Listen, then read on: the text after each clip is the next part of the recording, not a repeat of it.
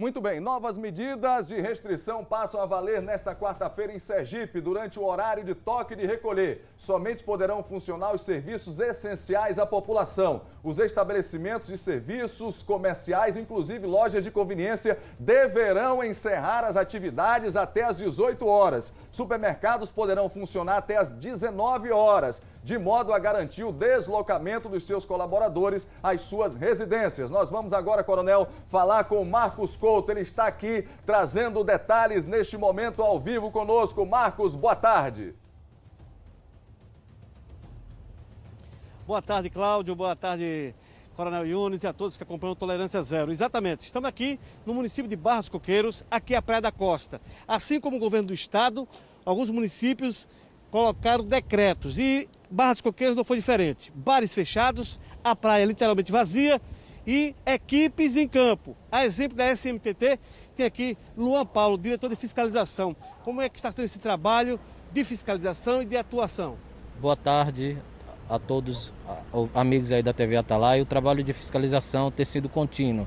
Começamos hoje o cumprimento do decreto e fizemos aqui a retirada educadamente é, demos a orientação de todos os banhistas aqui que estavam na areia da praia. Agora, além da SMTT, também tem a polícia fazendo algumas rondas. E aqui está o presidente do Comitê de Combate à Covid. Aqui é. é...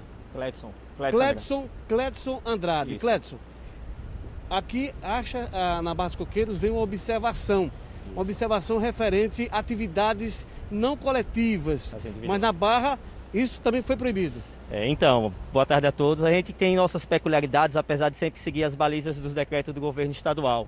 Aqui na Barra dos Coqueiros, a gente proibiu todo e qualquer tipo de atividade na faixa de areia de praia para os dias de hoje, 17, 20 e 21, sábado e domingo. E na noite, o toque de recolher a partir das 20 horas, nós estaremos atuando aí junto com a Polícia Militar, SMTT Defesa Social.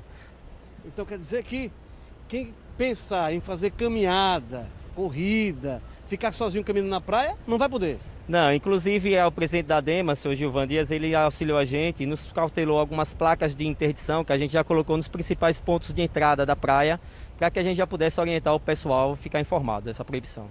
Esse é o trabalho de fiscalização, de cumprimento do decreto municipal de Barra dos Coqueiros, o Clédson Andrade e, tá aqui, e também tem o Paulo Luan, ou seja, Luan Paulo, que faz parte da fiscalização da SMTT aqui do município de Barra dos Coqueiros. A praia como vocês observam, literalmente vazia e no final da tarde e à noite a situação não vai ser diferente. Porque quando o fato acontece, a notícia aparece. Com a imagem de Augusto Baiano, apoio de Cristiano Souza, direto aqui da Praia da Costa, no município de Barra dos Coqueiros, repórter Marcos Couto.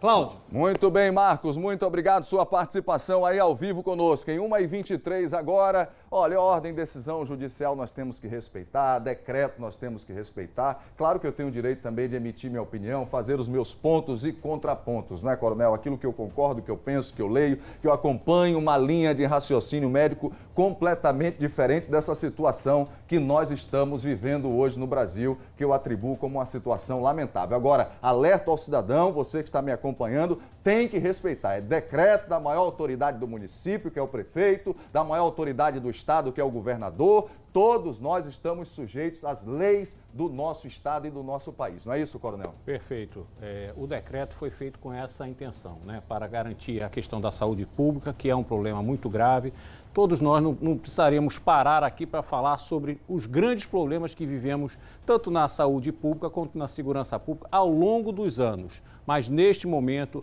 é importante que a população compreenda esta situação, esteja em suas residências, é, só sai para o necessário, utilizar sempre a, a sua máscara para a sua proteção e principalmente para a proteção daqueles que nós temos a obrigação, que são nossos idosos, que são nossos filhos. Então, nós temos a, a obrigação social para com esta situação, Cláudio.